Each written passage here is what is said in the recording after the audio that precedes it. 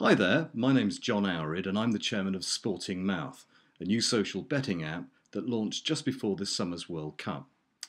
I do hope that you can come along on Thursday and listen to my session at the pitch. I'll be speaking at 1:30 and I'll be talking about a new approach to sporting competition that doesn't involve gambling or traditional forms of betting that, that can operate in many parts of the world where gambling is still legal.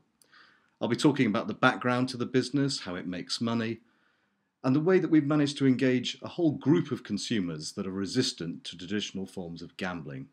So, if you're interested in hearing about how we've done this, what our successes to date, and what our plans are for the future, then please come along and have a listen and hopefully vote. I bet you won't be disappointed. Pardon the pun.